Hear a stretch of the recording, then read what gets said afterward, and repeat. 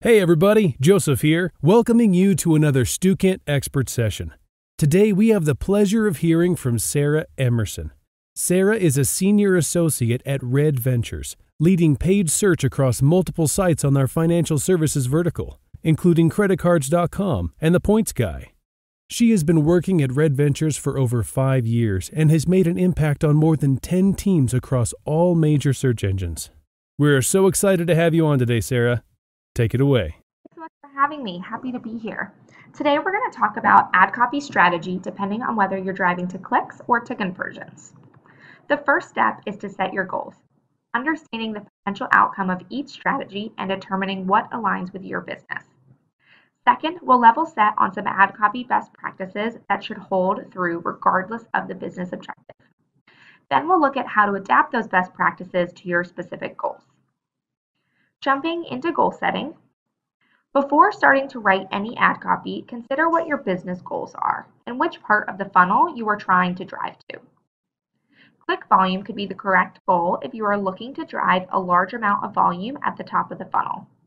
These types of ads will get lots of eyes to your site, which can promote brand recognition. You'll also drive higher expected click-through rate, which is a component of quality score. Conversion volume is a good goal to have if you're aiming for lower marketing cost, want to limit traffic to only high intent users, and if your business is looking to drive higher ROAS. Now that you've set goals, let's talk about basic ad copy best practices that will set your foundation for success. The first, and possibly most important best practice, is to stuff your ad copy with references to the keywords you're targeting. By ensuring that the keyword, and therefore the customer search term, is in your ad copy, you increase your ad relevance. Ad relevance is one of the three primary components of quality score, which makes this a major lever to increase ad rank.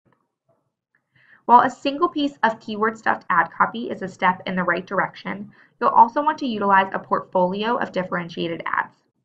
This gives the engine the ability to serve the best ad for each individual auction and ensure that the right person sees the right copy. You can utilize as many pieces of ad copy as makes sense for your business, but ensure that they are all different from each other. Part of your portfolio should include multiple ad formats. Both of the major search engines have two primary ad copy formats to choose from, responsive search ads and expanded text ads. Utilizing both ad types in your portfolio will ensure that you're eligible for as many options as possible. The final best practice we're going to talk about is to utilize brand voice whenever possible. Your ad should be authentic to your brand and have similar tone to your landing pages or other marketing channels. This builds trust with your customers and lets them know what to expect from the sales journey. Now we're going to go through a couple of examples of ad copy that utilize these, these best practices.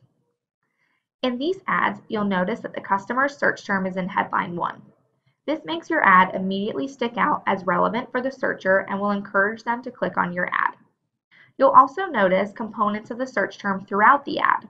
In the body of the ad, as well as in extensions, which aren't shown here, any components of the search term will be bolded, further drawing the, the customer's eyes to your ad. You'll also notice that while the first headline is the same for both of these ads, the second headline and the description lines are different, appealing to different types of customers. Now that we've seen best practices in action, let's talk through adapting these best practices for your specific business goals. When your primary goal is to drive click volume, your ad copy should be a very low barrier to entry for your searcher. One of the ways to do this is to utilize limited time messaging. This drives urgency that the customer must click now or else risk missing out on an offer. Another way to drive urgency is to prominently display special or exclusive offers in your copy. Not only does that make the customer want to click now instead of later, it'll also drive them to check out your site before going to a competitor's. One of the biggest hurdles for a customer to get over is the price of a product or service. When your goal is to get the customer to click to your site, always use the lowest price point available. Finally, use soft language as much as possible. Encourage customers to click on your ad to compare products or to learn more about what you have to offer. This makes them more comfortable with the first click, knowing that you're not necessarily pushing them to convert right away. Let's look at how our ad copy changes when we're aiming for high click volume. You'll notice that our basic best practices are still here. We still have keywords throughout the ad copy, and we're still using multiple differentiated ads. Where we see the ad copy differ is in the tone and in the value propositions that are being displayed. Here you see a low starting price point, free additional services, and urgency messaging around holiday shopping. We're creating FOMO, fear of missing out, and encouraging that click to site.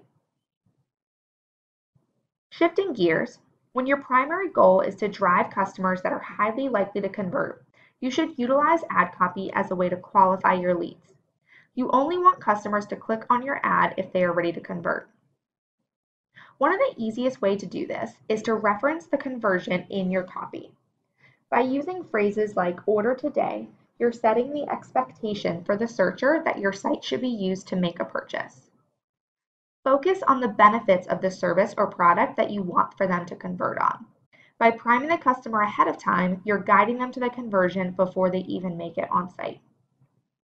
One of the key differentiators you'll see in conversion-centric copy is a higher price point.